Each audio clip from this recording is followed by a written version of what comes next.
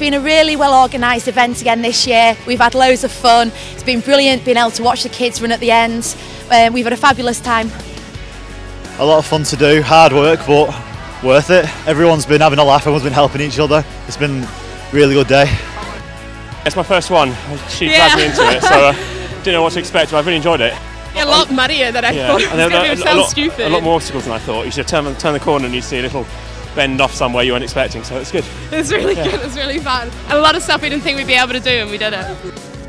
Really good obstacles, really enjoyed it. Yeah, great fun. Definitely come back and do I it again. I want to go again. We've had a great time. All had to help each other at different points, but um, great fun.